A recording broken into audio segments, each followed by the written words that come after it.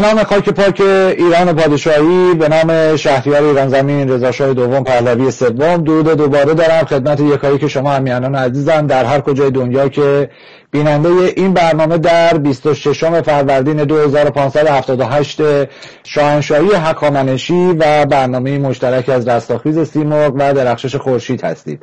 امیدوار هستم ساعتی که پشت سر گذاشتید ساعت پر انرژی بوده باشه براتون و بهترین ها هم در انتظارتون باشه. در آغاز برنامه میریم سراغ جناب قاسمی و جناب مهربانی تا درودی داشته باشم با شما عزیزان. جناب قاسمی بفرمید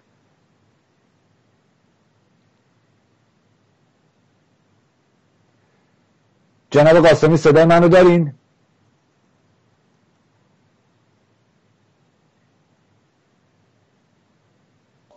بله بله بفرمایید.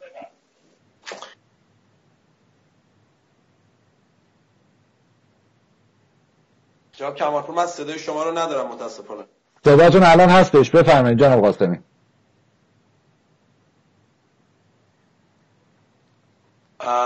جناب کمالپور من صدای شما رو از توی اسکایپ ندارم. میکروفون اسکایپتون احتمالا بسته است. آه okay. میکروفون اسکایپ رو لطفا باز کنید. بله بله سپاسگزارم سپاسگزارم. جناب قاسمی بفرمایید. من فکر کنم مایک اسکایپ هم اگه بسته بوده بس صدا توی برنامه نرفته.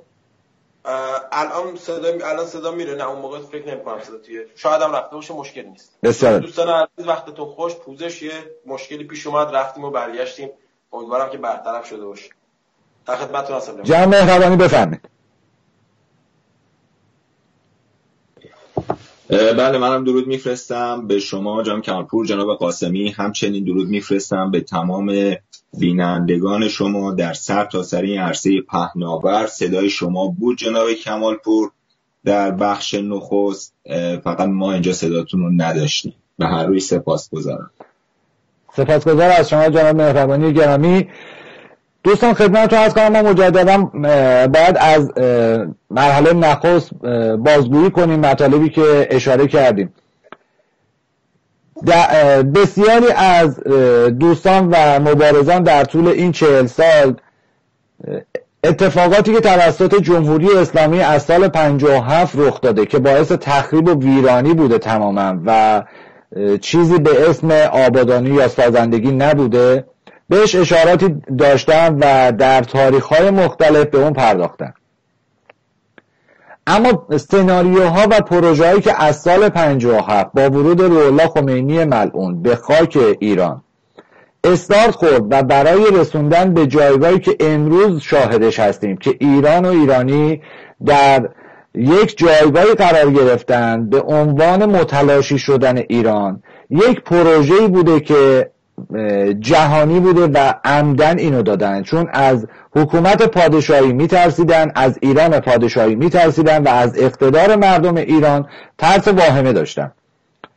پروژه‌ای که اتفاق افتاده در طول این چهل سال اگر خواسته باشیم نگاهی بهش بیاندازیم با تخریب کامل ارتش شاهنشاهی از آغازین روزهای ورود خمینی معلوم به خاک ایران یعنی سال 57 بهمن ماه 57 استادش زده شد ارتش شاهنشاهی متلاشی شد که سپاه رو خواسته باشن تشکیل بدن و این سپاه رو بارور کنن آماده کنن برای اجرای پروژه های دیکته شده ای که طراحی شده بود و در اختیارشون قرار داده بودن. برای اینکه بتونن این کار رو انجام بدن قطعا نیاز داشتن به یک سری آزمون و خطاهایی و تخریب همزمان ایران نابودی نسل های دلاور و غیوری که در حکومت شاهنشاهی پرورش پیدا کرده بودند. و همین دلیل یک جنگی را افتاد و به 8 سال کشید. این درازا کشیده شدن جنگ به نابودی ایران مرزهای جنوبی و غربی کشور و کشدار و زخمی یا مفقود الاثر شدن بیش از دو میلیون نفر. بسیاری از دوستان میگن یه میلیون نفر کشته اما جانبازها و مفقود الاثرها در این جنگ 8 سال بدترین آسیب ها رو خانواده هاشون و خودشون هم دیدن. به صورت این اتفاقات رخ داد تا شاهد این باشیم که یک سری حوادثی به عنوان بلایای طبیعی مانند سیل، زلزله، طوفان، گرد و غبار، ریزگردها یعقه مردم ایران رو در افسانقات کشور بگیره و زیست محیط ایران رو از نظر آلایندگی و نداشتن امنیت کاری بکنه که مردم ایران همیشه در خطر باشن و برای حفظ جونشون مجبور به جابجایی یا ترک خونه یا نابود شه خونهشون یا شهر نابود چه این اتفاقات رو رقم زدن. در ادامه ما می‌خوایم به این بپردازیم که این سیل ها از روز نخست سال 2578 چرا اتفاق افتاد و در نهایت دلایل ورود شبه نظامیان حشد و شعبی یا جنبش و نجا یا فاطمیون افغان برای چی هست؟ اینها رو بهش خواهیم پرداخت. به علاوه اینکه ما در نخستین برنامه که بعد از آغاز سال داشتیم اعلام کردیم که قطعا این مسیری که سیل رو انداختن اونم آمدانه و دستاز می‌خوان شرایط تخلیه نوار مرزی جنوب و غرب رو آماده کنن برای ورود نیروها و در نهایت یک جنگ. جناب قاسمی بفرمایید.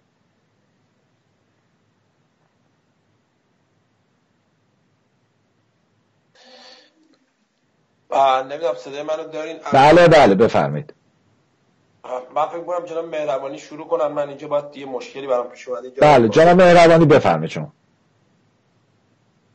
خواهش می‌کنم. صداتون هستش جناب قاسمی؟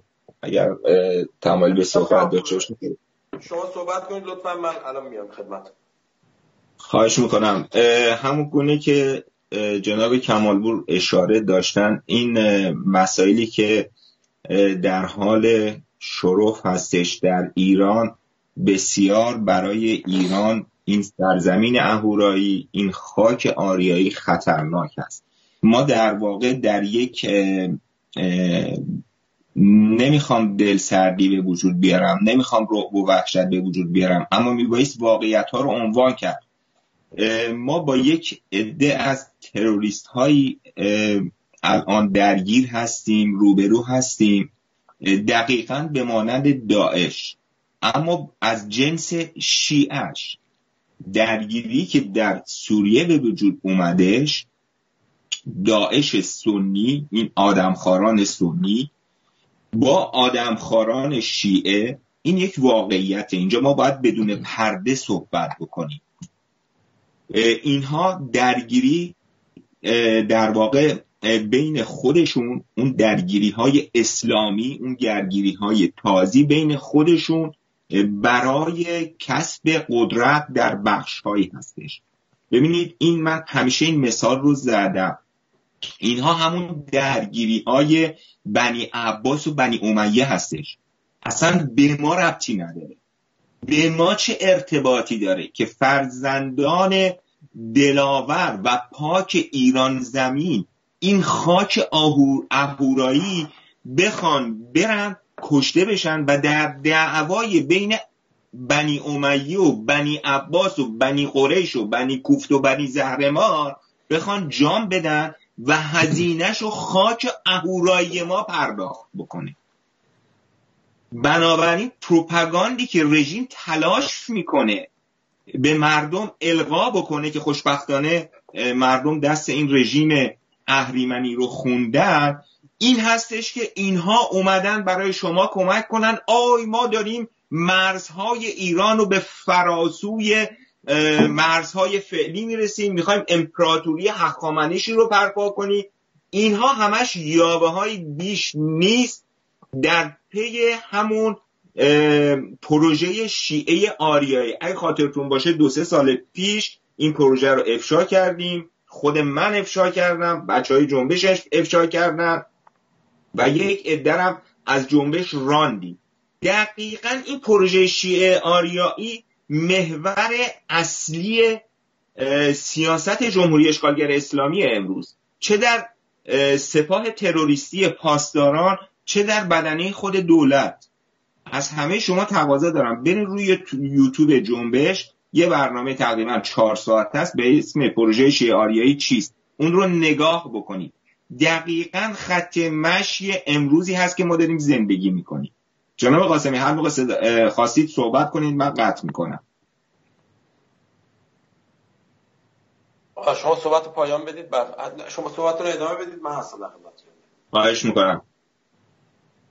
بنابراین عزیزان ایران امروز ما در یک خطر فروپاشی تمدنی قرار داره. دقت فرمودی؟ ایران ایران شهری ایران ایران آریایی ایران اهورایی هیچ ارتباطی. نه با حشد الشعبی داره نه با زینبیون داره نه با فاطمیون داره. اینها همون درگیری بین بنی عباس و بنی امیه است که می‌خوان روی سر ما خراب کنن. از ثروتهای ملی ما براش خرج بکنن. دقت فرمودی؟ حالا من ادامه گویانه رها می‌کنم میسپرم دست جناب قاسمی بعد توضیحاتی بیشتری میدم. که بله. صحبت به طرف هم نشه بفرمایید. سپاسگزارم. خب امیدوارم که الان دیگه صدا و تصویر همه چی برای دوستان خوب باشه. لطفا دوستان توی فیسبوک برنامه رو پخش کنید دوستانتون رو دعوت کنید. بریم سراغ صحبت هایی که توی قسمت قبل انجام شد. متاسفانه اون ویدیو خراب شد ولی خب من مجبورم دوباره یه بار دیگه اینا رو بازگو کنم. همونجور که دوستان می‌دونن ما در چندی برنامه گذشته صحبت از کشتار جمعی ایرانیان کردیم. هشتکی هم توی این زمینه درست کردیم که دوستان لطف کردن همه جا دارن ازش استفاده می‌کنن. اما خیلی ها اومدن و میگن نه آقا این خبرها هم نیست و اینجوری ها نیست که شما به این سیاهی نگاه می‌کنید. اگر برگردیم به سال 57 می‌بینید که جمهوری اسلامی از روز اولی که حالا ویدیوهاش هست می‌ذاره بعدم جناب کمالپور. از روز اولی که جمهوری اسلامی اومد از دقایق ابتدایی که پاشو گذاشت بر مسند قدرت در کشور ما یعنی آوردنش به حال از همون روز جنایت رو شروع کرد کشتار رو شروع کرد. مثلا بیاید مقایسه کنیم. در جنگ چقدر کشته داده؟ حالا هر کشوری. و در جمهوری اسلامی که جنگ نیست چقدر ایرانیان کشته شدن توسط جمهوری اسلامی. در جنگ هفت ساله که در سوریه اتفاق افتاد آماری که چند وقت پیش منتشر شد کلا 400 هزار نفر در سوریه کشته شدن. در سوریه که تمام این ارتش ها و کشورها همه هستن جمهوری اسلامی هست عربستان هست و کشورهای اروپایی هم اروپایی و آمریکایی هم حتی روس و اینا همه هستن می‌دونید. 400 هزار نفر. شما اگر بیاد از سال 57 هر ده سال به ده سال جمهوری اسلامی رو کشتار ایرانیان رو در این ده سال بررسی کنید ببینید آمارش بسیار بسیار بیشتر از یک جنگیه که در سوریه اتفاق افتاده. مثلا بیاید کشتاری که صنعت خودروسازی جمهوری اسلامی در ایران انجام داده. برید برید آمار تصادفا رو در بیارید. ببینید در هر سال پایان هر سال که حالا پزشکی قانونی جمهوری انگل آخوندی آمار میده یه چیزی اولوش 60 هزار 70 هزار 80 هزار 100 هزار آمار داره میده که در جاده های ایرانیان دارن کشته میشن. بیاید روی قسمت مواد غذایی ببینید. محصولاتی که دارن از چین و این ور اون ور وارد می‌کنن. به کنار محصولاتی که خود بدنه حالا مافیایی در داخل ایران به کمک یه سری از هموطنانمون متاسفانه افراد سودجو اون مواد خوراکی یا غذایی که داره به سوپرمارکت راه پیدا می‌کنه که دارید می‌بینید. خیلی ویدیوهاش اومده. کشتاری که از این طریق داره اتفاق میفته. یا این سیگنال های پارازیتی که در کشور ما به قول معروف در فضای کشور ما اینا دارن پخش می‌کنن.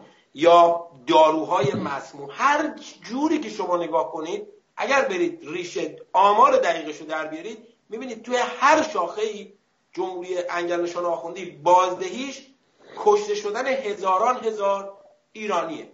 و وقتی اینا رو جمع کنی سرجمع می‌بینی یک رقمی خواهد شد که اصلا باور نکردنیه که در یک کشوری که جنگ نیست صحبت از امنیت می‌کنن. و حالا یک شامورتی بازی هم به اسم دموکراسی و انتخابات و فلان و فلان اینا برپا کرده شما می‌بینید آمار کشت و شدگان در این چهل سال جمهوری اسلامی بسیار بسیار بالاست. و این اسم دیگه نمیشه روش گذاشت به جز کشتار جمعی ایرانیان. اما برگردیم روی اتفاقی که از نوروز به این افتاد. باز باید برگردیم یه چند روز قبل از نوروز.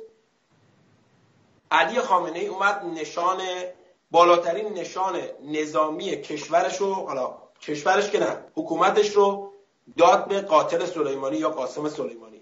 و در حقیقت اجازه به قاسم سلیمانی داد که هر غلطی دوست داری بکن اما اون معمولیتی که ما براش اومدیم اونو تمومش کنید. یعنی دیگه الان دیگه تمومش کنید. و بعدش می‌بینید در نوروز سیل های که اتفاق افتاد و الان جناب کمال دارم این ویدیوی چیزو بذارید روی صدا ویدیوی هورالعظیم. تالابی هست در خوزستان به اسم تالاب هورالعظیم دوستان می‌دونن. یا می‌تونید توی گوگل search کنید در موردش. این تالاب بله الان الان okay. الان اوکی شد. پنجشنبه 22 فروردین ساعت 4 و 6 دقیقه. من ساکت باشم صدای ویدیو رو بشنویم بعد من ادامه بدم. آماده است هنگ شما بگی آماده است. بله. خب دوستان الان ویدیویی که جناب کمالپور می‌ذاره این تالاب رو داشتم می‌گفتم. تالاب مسیر طبیعی آبراه اون قسمت در استان خوزستانه که حالا هر سیلی بارندگی هر اتفاقی باید بیفته از این مسیر در طول تاریخ این مسیر خودش رو باز می‌کرده و از اینجا به قول معروف به مسیرش ادامه می‌داده. بدون اینکه بخواد به شهر یا به استان حتی ضرری بزنه. خب شما دیدید مردم اهواز چقدر سر صدا کردن یا شهر روستاهای دور بعد که جمهوری اسلامی اومده اینو یعنی این مسیر اصلی سیلابی که طبیعت از نظر طبیعی بوده رو دقیقا مثل کاری که در دروازه قرآن شیراز انجام دادن. اینو بسته و انحراف داده مسیر آب رو به سمت شهر اهواز و روستاها و شهرهای شهرک های دوروبر اهواز که دیدید خود وزیر نفت رئیس مافیای نفتی بیژن زنگنه که یکی از مهره های کثیف مافیایی در قسمت نفت ایران هست اومد اون ویدیوش هم من فرستادم لینکش توی یوتیوب هست نمی‌دونم. فکر فکر نمی کنم آمادش کرده باشید یا shot screen ش اگر دارم بله بله هست. بله. زنگنه اومد اعلام کرد نه آقا این دروغه و ما مسیر طالاب هورالعظیم رو نبستیم و این آب داره به مسیر خودش همونجا ادامه میده و این همه اینا شایع است. یه ویدیوی الان یکی از دوستان پنجشنبه هموطنی گرفته از طالب هورالعظیم اینو ببینید جناب کمالپور لطفا پلی کنید صدای خودش باشه. بله الان روی مطلب زنگنه بودم که گذاشتم که دوستان ببینن. مطلبی که بیژن زنگنه اعلام کرده. و اینم از هورالعظیم رحیم امروز روز پنجشنبه 22 فروردین ساعت 14 و 6 دقیقه. اینم باد سبا. که مشخص می‌کنه امروز 22 فروردینه ساعت 14 و 6 دقیقه و اینجا منطقه حفاظت شده تالاب هورویزه. همونطور که مشاهده می‌کنه اصلا خشک خشک هیچ آبی توش نیست.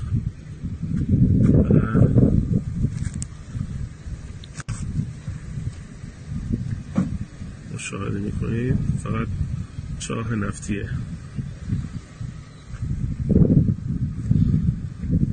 تا چشم کار می‌کنه بیابون. و تا چشم کار می‌کنه چاه نفتی. لوله های نفتی بسم الله الرحمن. بله تمام شد. خب ببینید دوستان این تالاب یا مسیر اصلی آب بوده. حالا به چه دلیل؟ جمهوری اسلامی میاد اینجا رو مسیر آب رو انحراف میده به سمت شهر اهواز.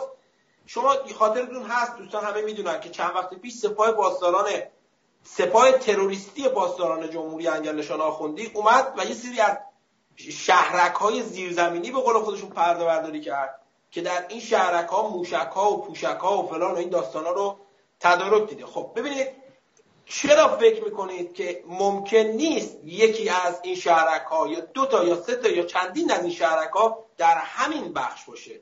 و این سیلاب اگر مسیر طبیعی خودش رو ادامه پیدا می‌کرد سیلابی که بعدا خودشون درست کردن شاید به این تجهیزات یا تشکیلات جمهوری اسلامی آسیب بیشتری میرسون یا اون قسمت های چاهای نفت و تجهیزاتی که برای نفت ایران هست. یعنی در حقیقت جمهوری اسلامی اومد مردم اهواز استان خوزستان رو قربانی یه سری از دکانها یا اون نقاطی کرد که از اون نقاط هم بهره سیاسی خواهد کرد هم نظامی و هم درآمد مالی داره. حالا این اتفاق در جنوب و جنوب غرب ایران افتاد.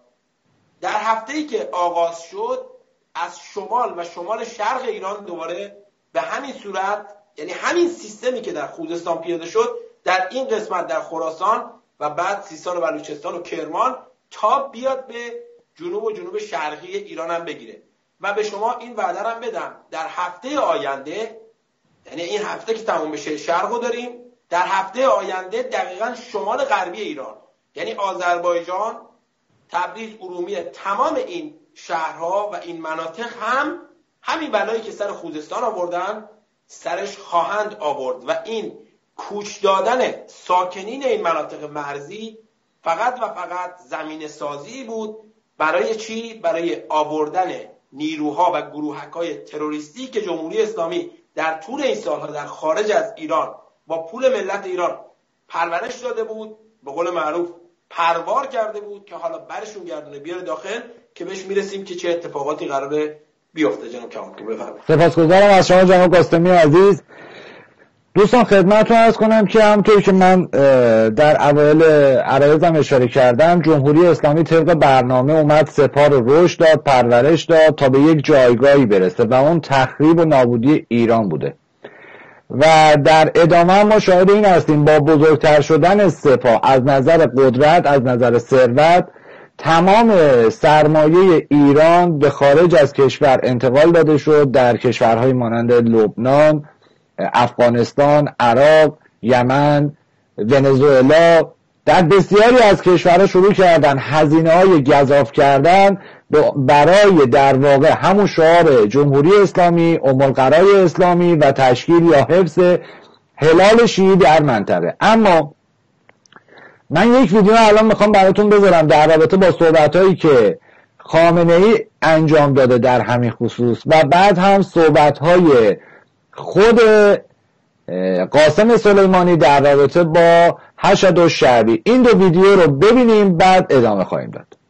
عقیده من بر اینه که اون نیرویی که اون تنها نیرویی که قادر هست از انقلاب و نظام جمهوری اسلامی انقلابی دفاع کنه او فقط سپاهه. این اعتقاده اگر ما سپاه رو یا نداشته باشیم یا ضعیفش رو داشته باشیم. ما قادر نخواهیم بود از انقلاب دفاع کنیم. این یک کلمه و تمام. این عقیده جدید هم نیست البته. از اول که سپاه شکل گرفته این عقیده رو بنده داشتم و در طول جریانات جنگ هم روز به روز روشنتر شده این عقیده برای ما. الان هم همین خب ببینید دوستان در وهله اول این صحبت هایی که خامنه ای داره می‌کنه در واقع شروع نابودی ارتش بوده و سرکوب نیروی ارتشی که در زمان شاهنشاه فقید رشد کرد و جز پنج ارتش برتر جهان جای گرفت. و رشد دادن سپاه بست دادن قدرت و اینکه اجازه بده در سیاست های داخلی در کلیه مسائل اقتصادی و تجاری صنعتی عمرانی کشور دخالت کنه در سیاست های خارجی دخالت بکنه. از یکی از اصولی ترین سیاست های برگرفته از تفکرات این رژیم کاملا ضد ایرانی بوده. اما ببینیم در رابطه با حشد و شعبی قاسم سلیمانی چی میگه و فرمانده حشد و شعبی رو چطور معرفی می‌کنه؟ این برادر من آقای مهندس ابو مهدی که یک شهید زنده هست واقعا یه مجاهدی با چهل سال مبارزه. او توانست کلید در همه انبارهای تسلیحات جمهوری اسلامی رو در کنترل خودش بگیره. هزاران تن سلام مهمات بدون که بحث سمنی در قبال بشود. سرازش به سمت عراقی بوده امروز. ستاد هشت ساختارهای هشت.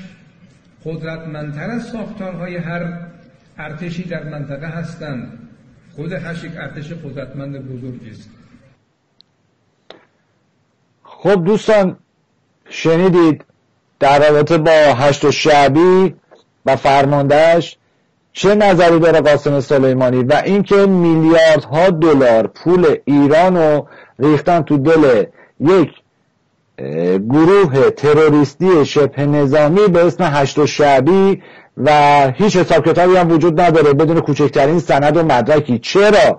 آیا جمهوری اسلامی آیا سپاه بدون دلیل این کار کرده؟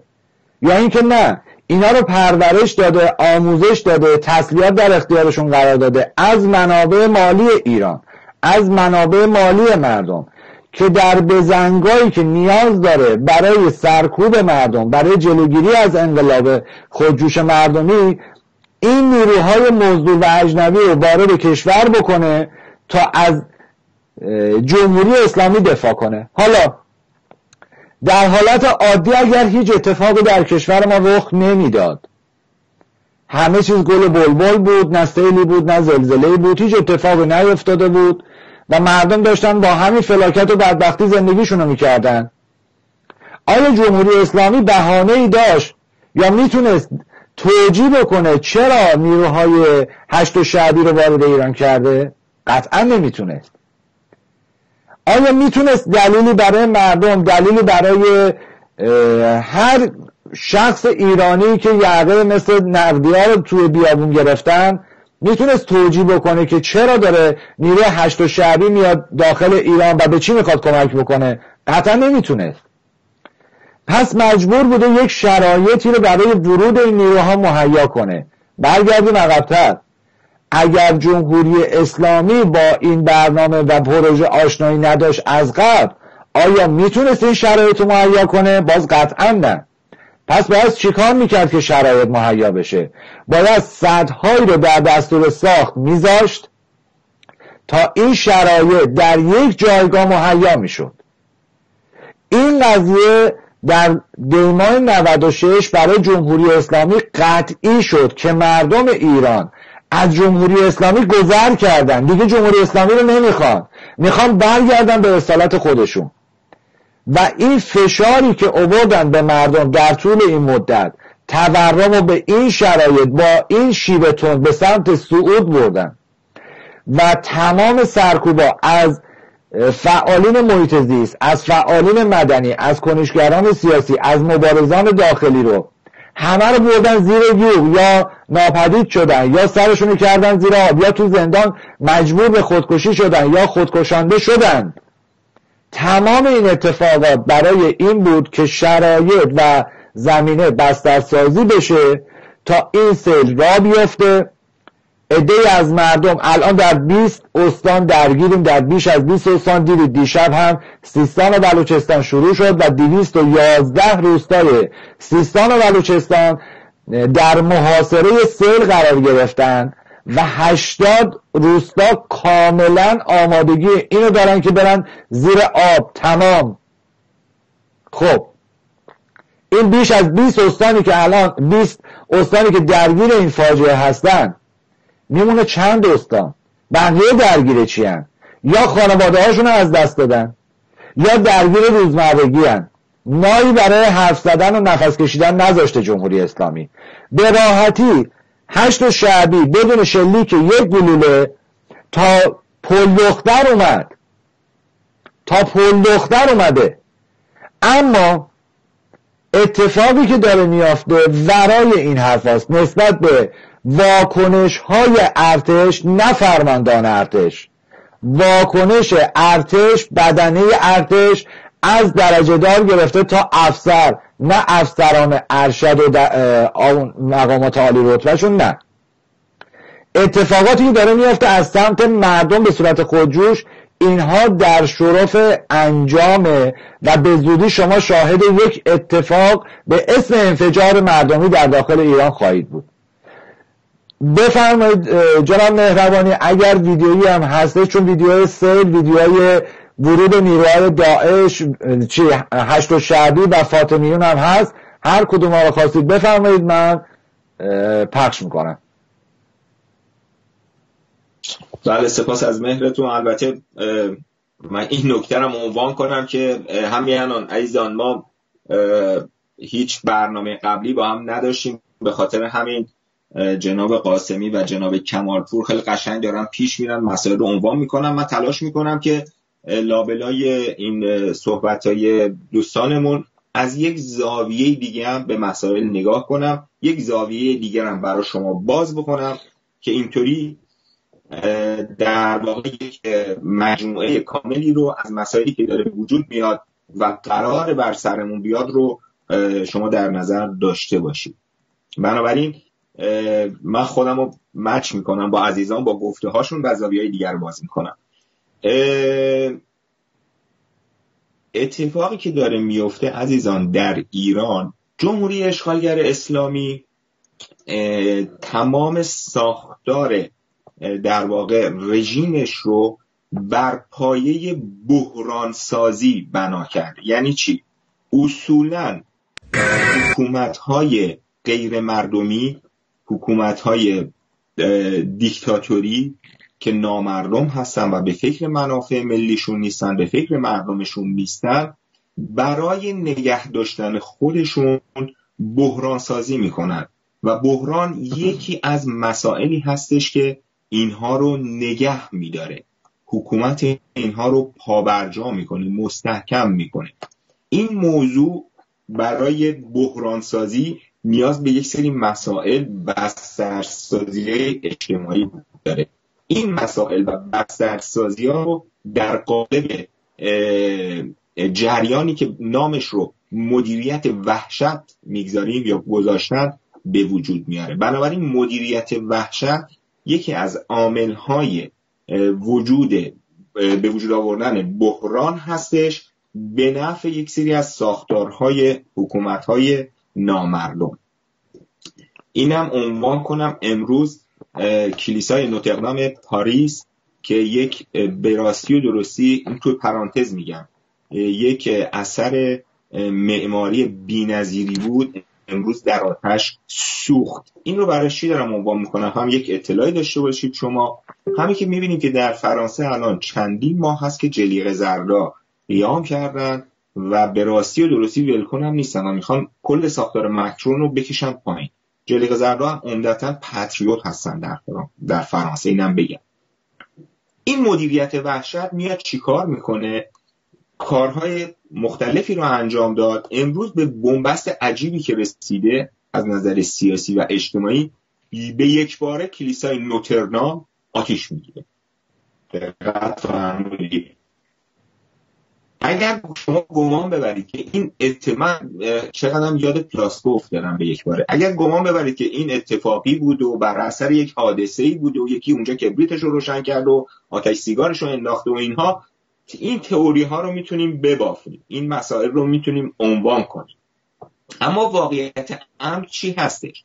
واقعیت امر اینه که مدیریت وحشت کاری که می‌کنه اذهان عمومی جامعه رو که روی سیاست فشار میاره و به راستی و درستی به یک نقطه انفجاری می‌خواد برسه اون جامعه که یک دگرگونی سیاسی اجتماعی به وجود بیاره با به وجود آوردن یک موضوع بسیار غمانگیز یک موضوعی که تمام جامعه رو درگیر کنه حالا هر جا بر مبنای شرایط اجتماعی خودش و درگیری های خودش. تمام اذهان عمومی رو برمیگردونه به اون سمت.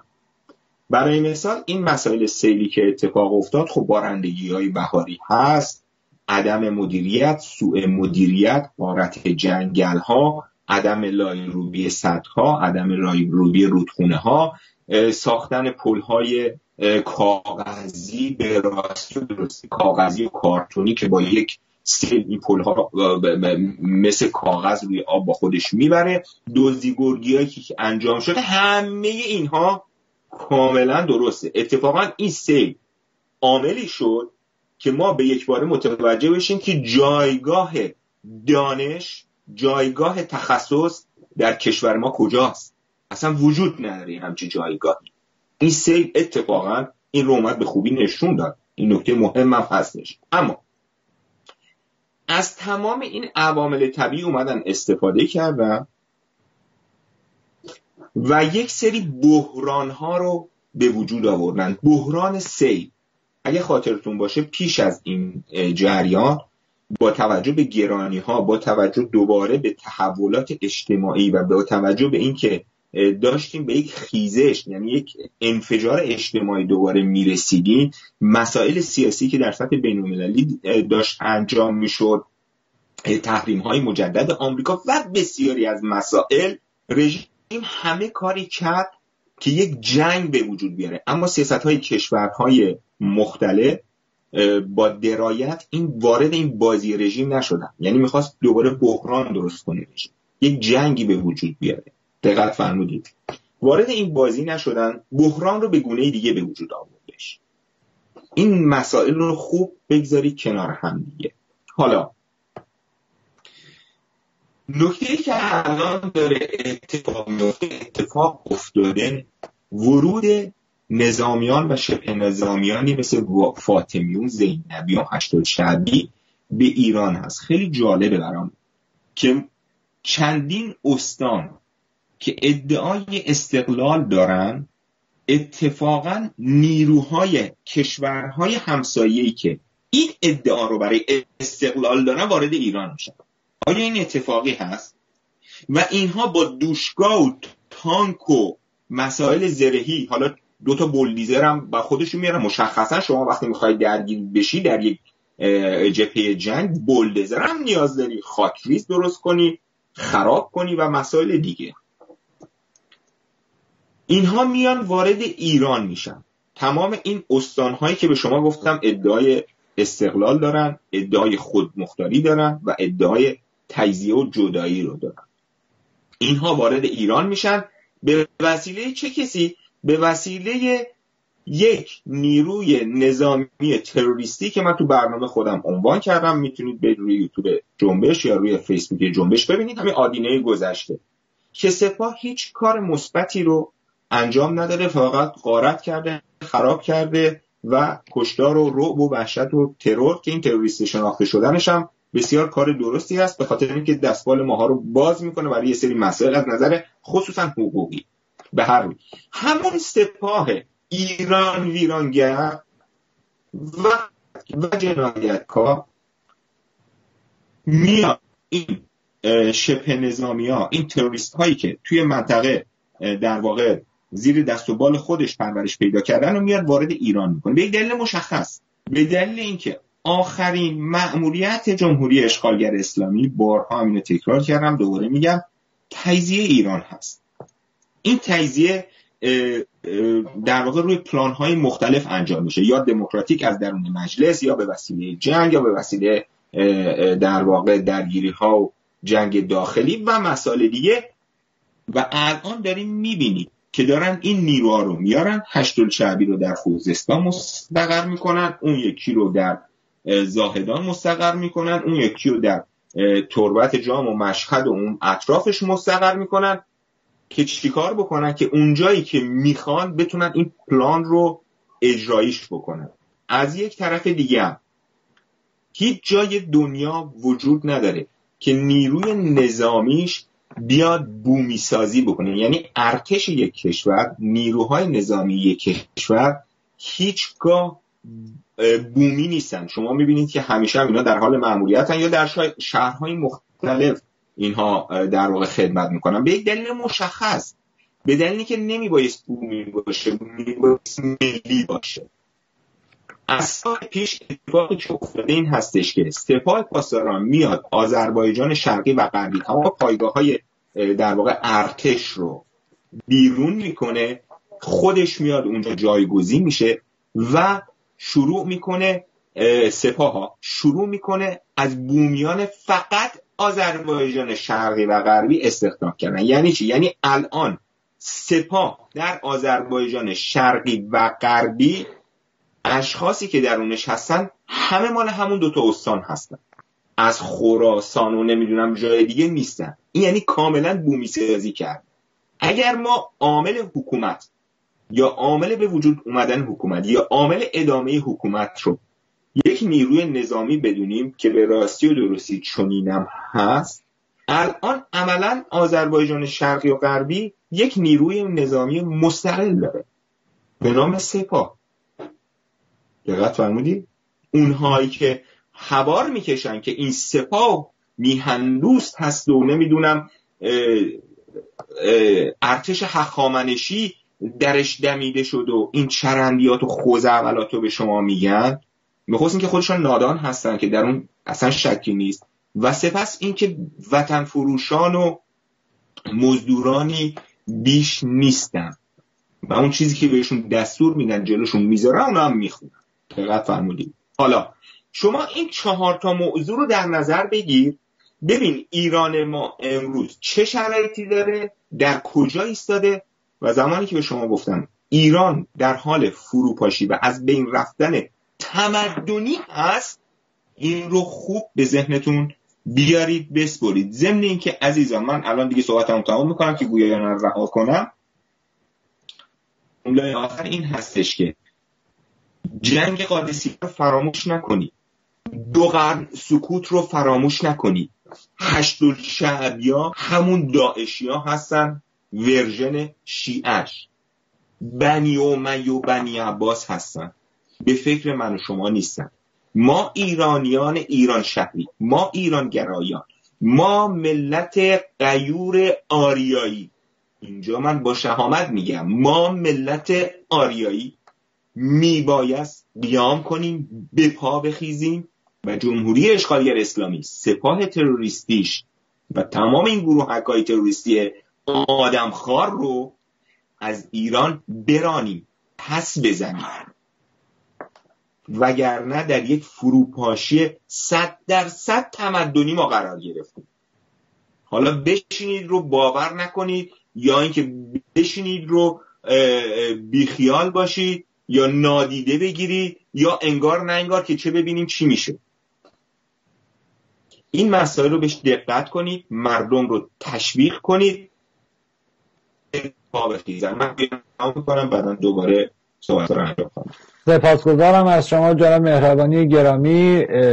جناب قاسمی اجازه بدید چون الان دقیقا ما چهل و نه دقیقه است که رفتیم یه موزیک پخش کنیم چون مسیر تست هم داریم میریم. بعد بیم بخش دوم که جنبندی کنیم و تمام شه. بله بله. بریم بریم. اسلامی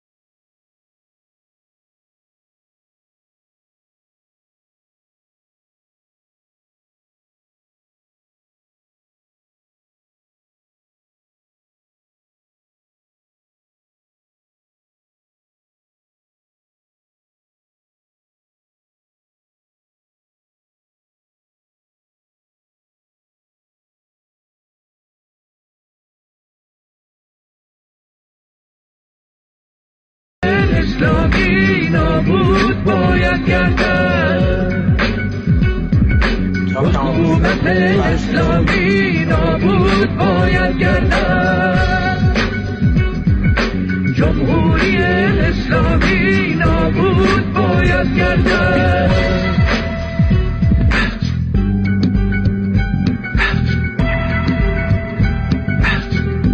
من دولت تعیین کنم. من تو دهن این دولت می‌زنم. دولت از پشت باد اهریمن کارتا شفته باد اهریمن به لبانت که گریه می طلبد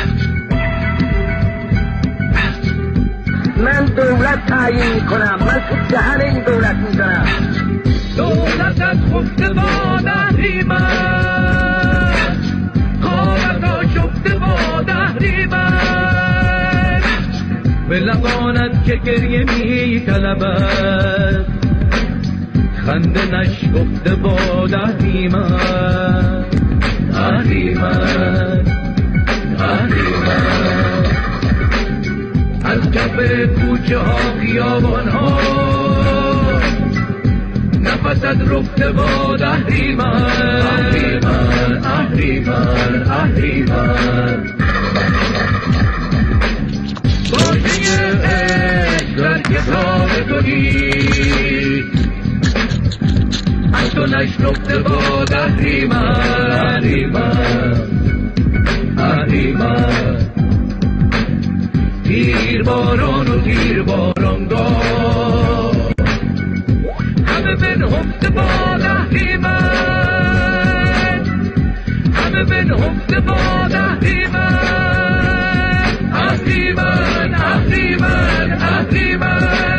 دولتی که ما میگیم دولتی که مستقل آرای ملت است زین همه تیر آه خنجر عشق.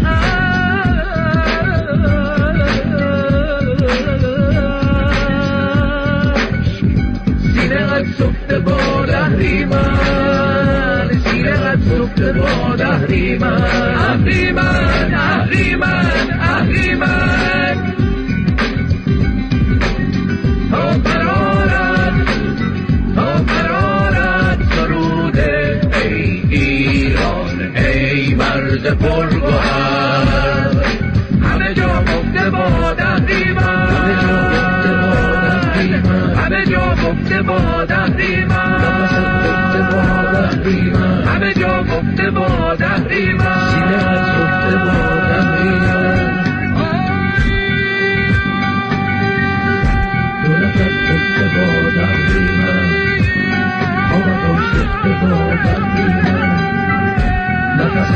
بر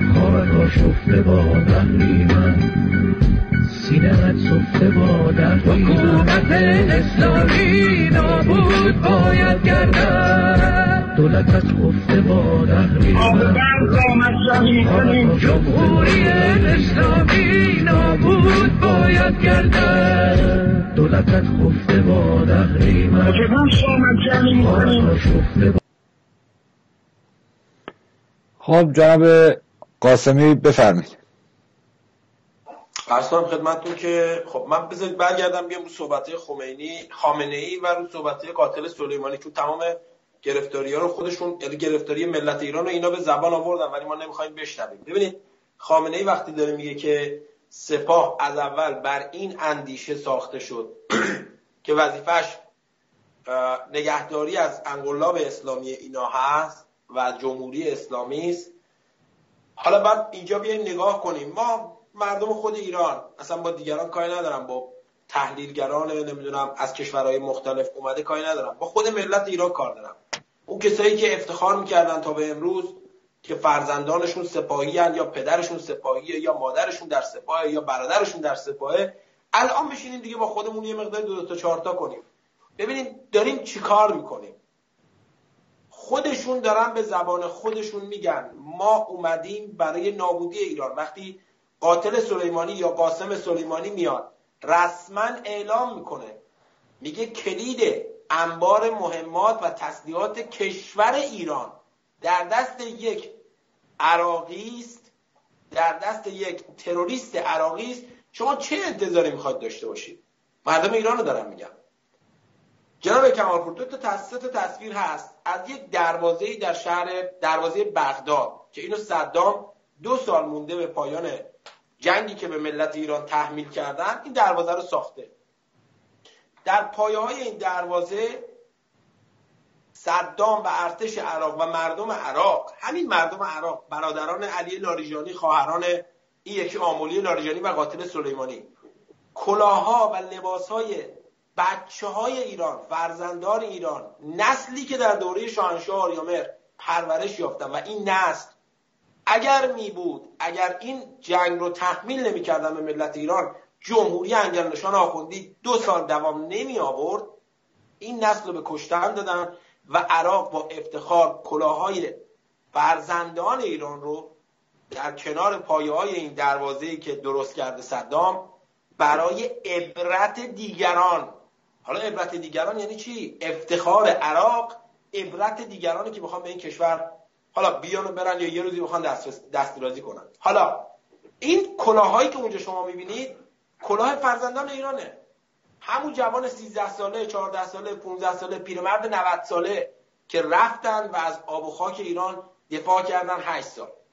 اون خانواده هایی که 8 سال بچه هاشون رو جواناشون رو کشته شدن یه سریا که اسیر شدن یه سریا که مفقود اثر شدن و در طول این چهل سال از نام این خانواده شهدا به قول خودشون جمهوری اسلامی هر موقع احتیاج احتیاج پیدا کرد و پایهاش لرزید شما دیدید چند تا استخون رو میذاشتن توی تابوتای خالی یا اکثرشون هم خالی بودن و به اسم شهدای فلان و شهدای فلان یا اون قفازانی که دست بسته بودن جنایت هایی که همین سپاه پاسداران محسن رضایی همین محسن سازگار و امثال این کسافت انجام دادن.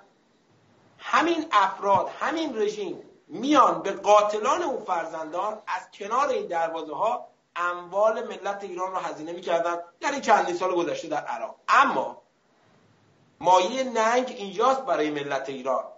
این برای ملت ایران جمهوری اسلامی ننگ حالیش نیست. جمهوری اسلامی خودش داره میگه. قاسم سلیمانی خودش داره میگه. میگه کلید مهمات انبار مهمات کشور دست یک عراقیه. مجلسمون دست یک عراقیه. بیت رهبریمون دست یک عراقیه. مجلس خفتگانمون یهوش عراقی هم. مگه اینا کیه نه همینان. عربان. تازیان. خب مردم ایران اون خانواده شهدا اون خانواده جانبازان اون جانبازی که بعد از جنگ سی سال الان فقط چشماش داره سخت می‌بینه فرزندان اینها. جمهوری نشان آخوندی قاتلان این فرزندان رو با سلام و سلوات و احترام وارد خاک ایران کرده. وقتی از مرز ایران اینا وارد میشن یعنی پا گذاشتن رو خون زن و بچه مردمی که در هشت سال جنگ ایران و عراق اون خونها اونجا ریخته شد. پس یا اون جنگ جنگ مقدستون دروغ بود یا اینتون دروغه. مردم ایران رو شما چهل سال به عنوان خانواده شهدا و هر موقع استفاده ابزاری ازش برای تبلیغاتتون برای هر کوفت و زهرمارتون برای پر کردن دانشگاه ها از عراقی ها برای پر کردن کرسی های مجلس از عراقی ها که این طرف خانواده شهید پسرمون شهید برادر شهید دیدید همتون دیدید اینا رو. اون استفاده ابزاری یعنی مردم ایران بعد از سال 57 از هر طرف که حسابشو بکنی باختن. از هر زاویه که نگاه کنیم ملت ایران باختن. اما الان از همه بدتر. اینجا روی صحبتم با ارتشیاست خامنه ای داره میگه سپاه رو برای چی ساختیم؟ سپاه نیروی نظامی ایران نیست. سپاه نیروی نگهدارنده جمهوری انگلنشان آخوندی و تاراج اموال ملت ایرانه. همون شخصی که در سال 57 ارتش رو تصویه کرد با قول خودشون تصویه ولی نابود کرد. همه را دم تیر گذران روحانی بود. امروز رئیس جمهوره. مهره ها رو نگاه کنید. امروز اون شخص رئیس جمهوره. همونی که اون روز قدرتی نداشت ولی رفت ارتش رو تصویه کرد امروز قدرت هم داره. خود خامنه ای هم که داره میگه. خود خامنه ای هم که داره میگه. میگه این سپاه مال ماست. اون ایرانی که فکر می‌کنه اگر پدرش رفت شهید شد برای یک وجب خاک ایران ننگ براش بودن در سپاه پاسداران. دیگه بعد از این مسائل. جناب قاسمی اجازه بدید من صحبت خامنه رو یک بار دیگه برای دوستان پخش کنم. هم صحبت خامنه ای رو پخش کنید هم صحبت قاتل سلیمانی رو. بله الان داره پخش میشه. عقیده من بر اینه که اون نیرویی که اون تنها نیرویی که قادر هست از انقلاب و نظام جمهوری اسلامی انقلابی دفاع کنه او فقط سپاهه. این اعتقاده اگر ما سپاه رو یا نداشته باشیم یا ضعیفش رو داشته باشیم. ما قادر نخواهیم بود از انقلاب دفاع کنیم. این یک کلمه و تمام. این عقیده جدید هم نیست البته. از اول که سپاه شکل گرفته این عقیده رو بنده داشتم. و در طول جریانات جنگ هم روز به روز روشنتر شده این عقیده برای ما. الان هم همینجور این برادرمان آقای مهندس ابو مهدی که یک شهید زنده هست واقعا. یه مجاهدی با چهل سال مبارزه. او توانست کلید در همه انبارهای تسلیحات جمهوری اسلامی را در کنترل خودش بگیره. هزاران تن سلاح و مهمات بدونی که بحث سمنی در قبال آن بشود سرازی شد به سمت عراقی بوده امروز. ستاد هشت ساختارهای هشت. قدرتمندتر از ساختارهای هر ارتشی در منطقه هستند. خود هشت یک ارتش قدرتمند بزرگی است. بفرم ببینید دوستان خیلی ساده خیلی راحت داره میگه. یعنی خیلی بهتره فکر کنم نامگذاری جدید الان باید بکنیم ما. کشور اشغال شده ایران توسط عراقی ها حالا روس ها به کنار انگلیسی ها به کنار دو تابعیت های آمریکایی این به کنار. اما چیزی که عملا الان دارید در داخل ایران می‌بینید کشور ایران شده استان عراق. انبار مهمات ایران که دست عراقی هاست. گفتم مجلس و همه این سازمان ها که دست عراقی هاست. سردار سپامون میشه سردار نقدی عراقی و بقیه داستان هاشون ما در این مردم واقعا اصلا داریم در مورد چی صحبت می‌کنیم؟ خیلی جالبه. اون وقت شما امروز می‌بینی همین دولت آبگوشت خیالی که جمهوری انگل نشان درست کرده و امثال نوریزاده ها و تبرزدی ها و آشغال پاشغال رأی رفتن دادن و شرکت کردن و تشویق کردن میاد میگه من می‌خوام دو میلیارد دلار دو میلیارد دلار از صندوق ارزی بردارم هزینه کنم برای مناطق سیل زده. و رهبر کثیف عراقی جمهوری انگل نشان آخوندی با پررویی میاد میگه نه اینو باید بسپرید برای بعدن الان مهم نیست. الان خوزستان مهم نیست. مردم مردن مهم نیست. بی خانواده شدن با... ما می اومدیم اینا رو بکشیم. برای چی بیایم نجاتشون بدیم؟ این خیلی ساده است فهمیدن این مطلب. میگه سوریه و عراق جزو واجبات در ارجعیت قرار داره. گفت مگر نگفتن خوزستان بین خوزستان و سوریه؟ ما سوریه رو قبول می‌کنیم. یعنی در هر کجای دنیا در اوکراین ارتش روسیه چند تا از این تانکا و زرهی ها رو وارد جزیره کریمه کرد. دنیا رو به هم ریختن این مردم اوکراین. مگه نریختن؟ مگه ندیدیم؟ سه سال پیش بود. حالا کاری ندارم. مافیاها هنوز نذاشتن اونجا به دست مردم اوکراین برسه چسبید به, به روسیه. ولی ببینید ارتش ببینید یک گروه تروریستی وارد کشور ما میشه. مردم مقاومت می‌کنن. ارتش و سپاه وایسادن خیر مردم میگن. بعد رهبر انگولا هم میاد به این صورت صحبتش انجام میده. جناب کمال من زیاد صحبت کردم ببخشید. خواهش می‌کنم سپاسگزارم. دوستان قبل از اینکه من سخن ادامه بدم به خاطر اینکه دلایل این اتفاقات رو باید بدونیم کامل شفاف ما خب بارها گفتیم زلزله منجیل و رودبار رو دیدید زلزله بم رو دیدید زلزله کرمانشاه رو دیدید. دو سه تصاویر هستش ویدیو هستش پخش می‌کنم نسبت به سیلهای اخیر که ببینید جا جامعه ایرانی رو به کجا رسوندن؟ و جمهوری اسلامی و در رأس جمهوری اسلامی سپاه داره چیکار می‌کنه؟ ویدیویی هست از یکی از مناطق اهواز. ببینید کلا خالی از سکنه شده و کسی امروز اونجا زندگی نمی‌کنه. آب معلوم بشه. آقای شیر شهر کسی مونده؟ نه یک و نیم متر حداقل عمق بشه مسکن مهر کسی مونده؟ اینجا مسکن مهر شیرین شهر می‌بینید آب تا کجا اومده؟ تا لب پنجره اومده.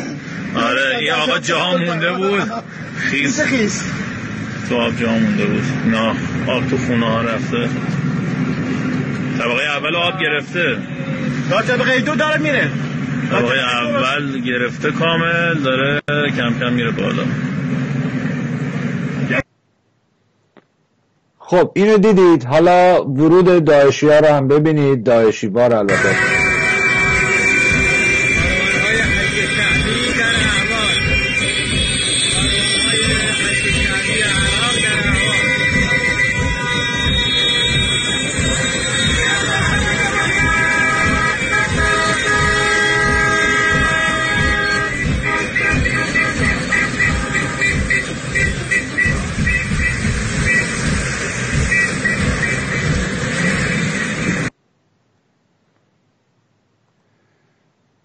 ببینید همیان عزیز یکی از بزرگترین مشکلاتی که ایران داره مردم خود ما هستن. مردم ایران چه در داخل چه در خارج.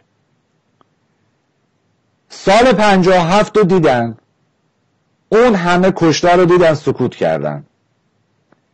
کسی بلند نشد جواب بده. که چرا این همه بیگناه رو دارید قتل عام می‌کنید؟ سال 58 و اون فجایع زیاد در جنگ 8 ساله رو دیدن. باز هم زوب در مذهب زوب در ولایت خمینی و خامنه ای شدن. فاجعه که در یک شب 24 هزار جوون قیور ایرانی به کام مرگ در عملیات کربلای چهار و فردای اون روز ادامه پیدا بکنه فاجعه کمی نبود. بعد از پایان جنگ این همه اتفاقات افتاد که جزء جنایت ضد بشری محسوب میشه. از نظر قوانین جهانی جزء جنایت بشریه. سپر انسانی ساختن توسط سپاه و جمهوری اسلامی جنایت ضد بشری نسل کشی ایرانیه. تمام اتفاقاتی که از سقوط کردن اتوبوس در دعوه سقوط اتوبوس های دانش آموزان سقوط اتوبوس دانشجویان خروج قطار از ری سرنگونی یا سقوط هواپیما. سقوط هواپیمای جنگی در حین آزمایش و تست. سقوط هلیکوپترهای مختلف. فرو ریختن ساختمانهای بزرگ مثل پلاسکو. کشتی سانچی. این همه اتفاقات روی سرکوهای نفتی که کسی مطلع نمیشه. مرگ و میر در زندانها. این همه کشتار با آلایندگی زیست محیطی از دفن زباله های اتمی روسیه در ایران از ریزگردها در خوزستان در ایلام در خطه غربی کشور تقریبا اکثرا دارن باش مشکل دارن و حدودا 15 16 سالی که خود خوزستان نابود شده از این اتفاق. زلزله در کرمانشاه و سر پل زهاب و امروز هم سیل در کل ایران. تورم و رکود نابود شدن اقتصاد و نبودن شغل بالا کشیدن پول مردم توسط بانک ها مؤسسات توسط یک سری از شرکت ها و هولدینگ هایی که خود جمهوری اسلامی را انداخته. شرکت های اقماری تحت تابع سپاه. تمام این اتفاقات رقم خورده. کماکان ما سکوت کردیم. مردم ایران سکوت کردن. به ناکجا آباد قبول کردن سفر کنن. که نتیجه نداره نتیجهش معلوم نیست. اما قبول نمی‌کنن یک بار برای همیشه بلندشن و جلوی این رژیم خونخوار رو بگیرن. رژیمی که اومده کشور ما رو اشغال کرده رو از ایران بیرون بکنن. در 1367 جنگ 8 ساله تمام شده. کماکان بعد از سی یکی دو سال از جنگ گذشته ما شاهد این هستیم که هر از چندگاهی یه تعداد جعبه ور میدارن به اسم تابوت جنازه شهدایی که در جنگ بودن رو حمله کنن. من یه برنامه ساختم فکر می‌کنم حدودا دو سال پیش دو سال و نیم پیش در رابطه با همین موضوع. که چرا دلایل برخورد هواپیمای مسافربری در لرستان چی بود که اون هواپیما برخورد کرد به اون کوب و سقوط کرد؟ چون یکی از مستندسازانی که در اون هواپیما نشسته بود به راز این جنازه هایی که داره میاد پی برده بود در سالن های تو در توی روایت فت در سالن های تو در توی سپاه و بخش سینمای دفاع مقدس.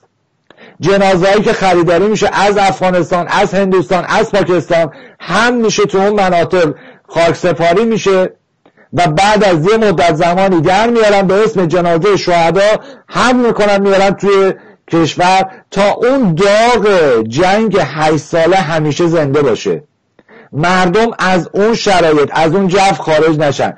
تا چه زمانی ما می‌خوایم این بیخردی رو قبول کنیم. تا چه زمانی ما می‌خواهیم اجازه بدیم به شعور ما توهین بشه؟ تا کی می‌خوایم اجازه بدیم از جیب ما دزدی بشه؟ تا کی می‌خوایم اجازه بدیم که هر کس و ناکسی به ناموس ما به ناموس ایران توهین کنه؟ تا کی می‌خوایم اجازه بدیم خاک ایران فروخته بشه؟ تا کی؟ امروز شرایط تغییر کرده عزیزان. با ورود هشت شعبی با ورود فاطمیون با ورود نیروهای شبه نظامی به خاک ایران و اون هم باز کردن کلیه درها بدون کوچکترین ممانعتی بدون کوچکترین درگیری توسط سپاه شرایط تغییر کرده. امروز ما شاهد این هستیم که نماینده مثلا مردم اهوازر مجلس شورای اسلامی جمهوری اسلامی اعلام می‌کنه اصلا ما مطلع نیستیم چه کسانی به این نیروها مجوز ورود داده. ما اصلا مطلع نیستیم کیا هماهنگ کردن با هم. هر اتفاقی افتاده در سپاه رخ داده. یک ماه پیش میان اعلام می‌کنن برای تردد مردم ایران و عراق نیازی به اخذ ویزا و روادید نیست. فقط یه مور ورود و خروج می‌خوره. اما سفیر جمهوری اسلامی در عراق اعلام می‌کنه کلیه این نیروها دارای ویزا هستند چقدر ما باید ساده اندیش باشیم که دائما دروغ به خورد ما بدن و ما از این دروغ ها خوشمون بیاد و هیچ حرفی نزنیم. زمانی که در سال 68 ببخشید 78 جوانای ایرانی رو از پشت بوم کوی دانشگاه زنده زنده پرت کردن پایین و کشتنشون. صدامون چرا در نیومد؟ سال 88 اون فجایع رو در بازداشتگاه کهریزک رقم زدن. چرا صدامون در نیومد؟ و اینها امروز فهمیدن هر کاری بکنن مردم ایران سکوت می‌کنن. شرایط زندگیشون رو با همون شرایط روز وفق میدن و صداشون در نمیاد. خم به ابروشون نمیارن. ککشون هم نمیگزه. اگر ما می‌خوایم قبول بکنیم که بی غیرت شدیم اگر ما می‌خوایم قبول کنیم که دیگه نه اون ایرانی که داریم دم می‌زنیم اینقدر قیور بوده اینقدر شجاع بوده و دارای اون فرهنگ و تمدن و غنی ایران شهری هست می‌خوایم قبول کنیم که اونا نیستیم؟ پس این همه ادعا